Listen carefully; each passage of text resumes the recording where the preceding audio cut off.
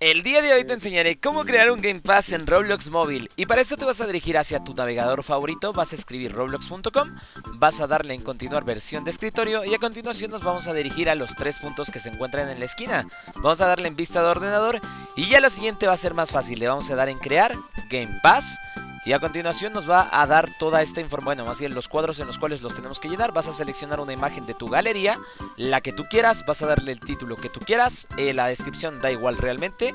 Le das en upload, en verificar y con esto ya tendremos nuestro Game Pass creado.